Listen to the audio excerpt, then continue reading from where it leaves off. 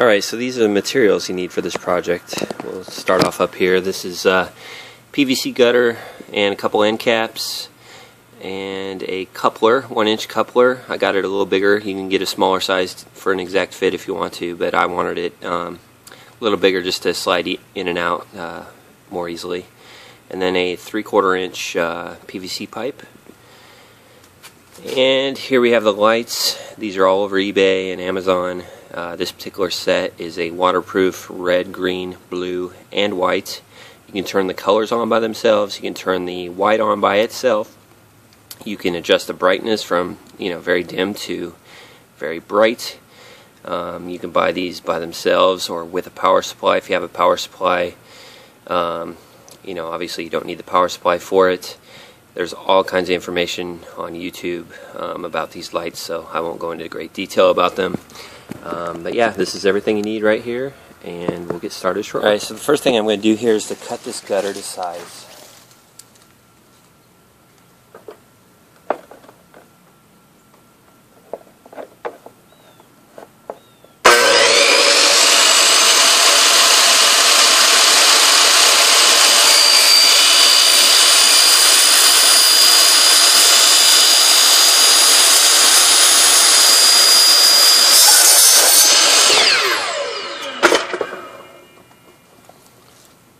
Next I'm going to cut the coupler in half.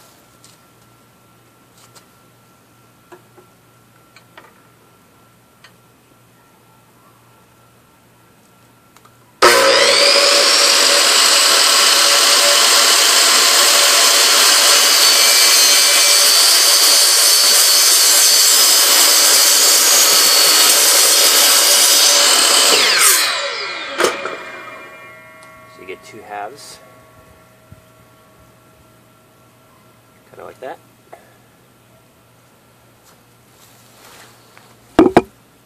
Now when you look closely at these end caps, you see they have a little ridge in it.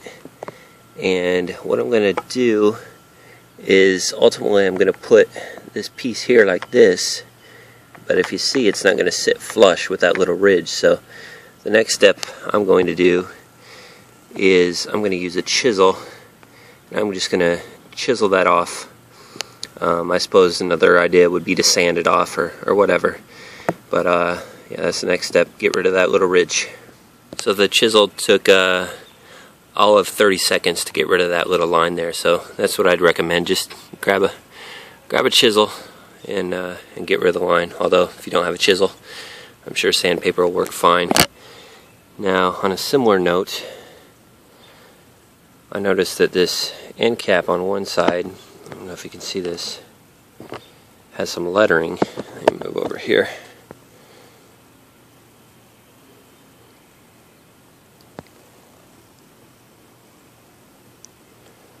So it has some raised lettering here. There you go. Now you can see it, kind of. Try to focus this one more time. There it is. Anyway, I'm going to try to take it over here and just uh, do it the old-fashioned way. Turn it a few times or rub it on this concrete.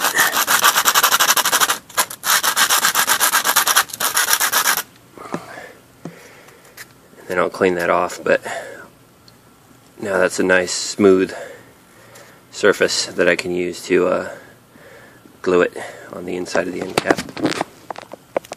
Alright, so next I'm just going to grab some glue glue this down, clamp it down, and then let it dry, and then we're on to the next step. So the next step is to slide those end caps on the gutter and cut the uh, PVC pipe to fit, and then just slide it right in there. And what I did is actually I put one one end on, one end cap on, and then I put the pipe in there and then I put the other end cap on. And uh, just snapped it together. And next what I'll do is I'll just roll the lights right around the strip lights right around that PVC pipe. And after you put the LED lights on the PVC pipe it'll look a little bit like this.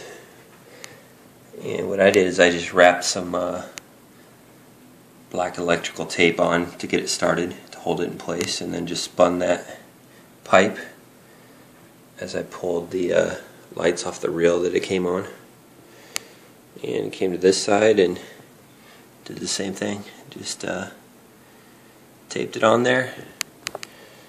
And then when I hook it up obviously I'll hook it up to uh, this side here the power supply to that side here and we'll see what it looks like alright so let's see how this looks now this tank is obviously empty it's brand new I'm uh, just getting things set up so I'll uh, show you what it looks like with water in it eventually, but for now I'll just give you a quick peek what this looks like. Uh, first I'll show you this remote. Um, you can see this top section controls the colors. So you have all these colors, the red, green, blue, and the white that's uh, produced with the with the colored lights, so it's not like a true white, like the independent lights that are on here that are white. Um, there's how bright it is, up or down, on and off. This section here controls the actual pure white um, LEDs. Every other LED, as I mentioned before, is either color or just white. So, let me give you a little demo. I'm going to turn the colors on. Alright, so that's red obviously. Put green, blue,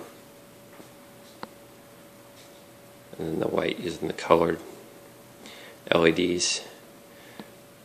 And then there's all these in between, right? So teal, there's an orange, yellow, so on and so forth. So let's go back, like a blue. And then again, here's I want to make it really bright. As bright as it gets. And then dimmer. Alright. Turn these off. And independently, we'll come turn the whites on. And make that brighter. See it gets pretty bright. So you saw how many bulbs are in here so it's obviously overkill. It's plenty of bright but uh, like I said they're so inexpensive I'm not worried about cutting it and, and I'm not worried about using too much or, or whatever. It's not going to get hot.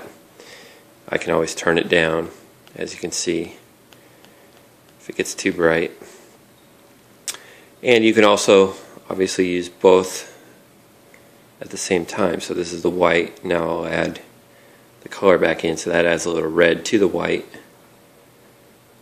green to the white, blue with white. Turn the whites up a little bit. Anyway, you get the point. It looks like it looks, it's going to look pretty good once I get the fish in there. These are the uh, some of the programs I told you about. Right? It's pretty freaky. Turn the whites off here. So you can do all kinds of stuff like that. Obviously you don't want to do this to your fish, but if you want the lights to, uh, for any other purpose, you slow it down, speed it up, all that good stuff, but I won't be using that obviously. But anyway, yep, looks like this will work pretty well. Thanks for watching.